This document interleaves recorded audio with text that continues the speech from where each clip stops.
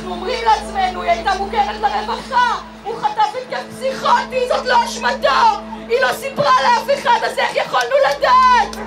מה אפשר לעשות? יש מה לעשות! על השולחן של הממשלה המנופחת והמנותקת הזאת יושבת תוכנית חירום למניעת אלימות נגד נשים כבר שלוש מאוד מקובל לומר במחאות של נשים שהן אינן קונקרטיות, אבל uh, סך הדרישות שלנו הוא מאוד פשוט. נכתבה תוכנית uh, חירום לאומית למאבק באלימות במשפחה, שתוקצבה ב-250 מיליון שקלים, אושרה ב-2017. ב-2018 יצאנו למחאה כי הכסף הזה עוד לא עבר. התקציב הזה הולך לשמש לפיתוח מענים בשפות זרות במשטרה כדי שאנשים שמגיעות ולא דוברות טוב עברית, דוברות אמהרית, טיגרינית, רוסית, ערבית, יהיה להם מענה בשפה שלהם, בפיתוח מסגרות לגברים אלימים, בענישה מחמירה יותר של גברים אלימים, בתקנים לעובדים ועובדות סוציאליות שנמצאים בתת תקן וגם בקורונה עוד הורידו את התקנים, בהרחבת המענים לפרסום, לתוכניות חינוך מגדרי. הדבר הזה לא קורה והדרישות הן מאוד קונקרטיות עד כאן. יש נשים עכשיו בבתים שמושפלות, שמוכות, ששוכבות על הרצפה כמו שאני שכבתי וזחלתי, ואף אחד לא בא. המקלטים קורסים תחת העומס, והם מתקיימים מתרומות במקום שהממשלה תתקצב אותם, כי היא דואגת לנשים שלה. ועוד חיים נלקחים, ועוד חיים, ועוד חיים, הורגים אותנו, ולאף אחד לא אכפת! יש קשר בין uh, הקורונה לבין uh, הרציחות האלה. בכל אזור שבו אזרחים צריכים להסתגר בבתים בגלל מלחמה, מבצע, uh, מגפה או כל דבר אחר, אנחנו עדים ועדות לתופעה של עלייה של דומסטיק ויילנס, אלימות במשפחה. המשטרה אומרים שהם מדווחים על עלייה של 30% בתלונות וזה רק מה שמגיע למשטרה. בעצם זה ששלוש נשים נרצחו בשבועיים זה משהו שמאוד טלטל אותי ומאוד עורר אותי. יש תפקיד לגברים במחאה הזאת, אני חושב שיש תפקיד לפתוח שיח גברי סביב הדבר הזה. הגעתי לכאן כדי להזדהות עם אנשים עמוקות, עם אנשים שהם חסרות ישע נגד אלימות בהמתית של uh, גברים שהם חסרי שליטה, ולמחות על כך שהרשויות לא עושות כמעט uh, כלום. תחילת 2020, חמישה חודשים בלבד, כבר נרצחו עשר נשים ותינוקת בת עשרה חודשים.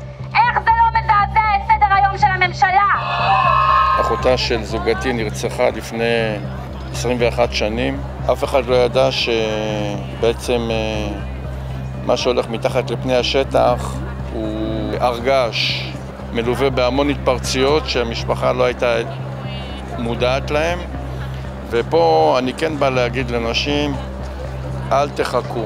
לדבר על זה במשפחה, לדבר עם זה עם חברים, פשוט לא לשתוק. צריך לעזור ולשקם את האנשים כמובן, אבל צריך לטפל בבעיה, והגברים האלימים זו הבעיה. מקלט לגברים מכים. הנשים לא צריכות ללכת ולהסתתר מהגברים, לגמרי לא. צריך להוציא את הגבר מהבית ולא שהוא יישאר בבית והאישה והילדים יברחו. העמדה שלי, גבר מכה וגבר שמדווח שהוא מכה, צריך להיות איזשהו מקום שהוא מורחק אליו, מורחק מהבית, מורחק מהסיטואציה של המשפחה. אני בעד זה שגברים מכים ילכו למקלטים ויטפלו בעצמם, אין ברירה אחרת.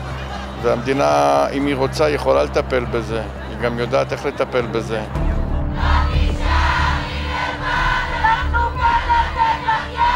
בגיל הזה אומרים, כל החיים לפניי. אולי בגלל זה הרצח של מאיה נגע בי כל כך. אבל זו לא רק מאיה. מאיה היא חלק מתופעה מזעזעת שכוללת את כל הנשים ששמן לייתר את הכיכר האלה. למעשה היום אנחנו רואות הפגנה שארגנו אותה שתי נשים צעירות שקמו והחליטו שהן עושות מעשה כי הן הזדהו עם מישהי בגיל שלהן ודומה לפרופיל שלהן. אין לי צל של ספק שנשים שמצטרפות למאבק הזה עכשיו יהיו שותפות למאבק הזה גם כשנשים מכל רקע, מגזר וחברה בישראל יירצחו. זו טעות!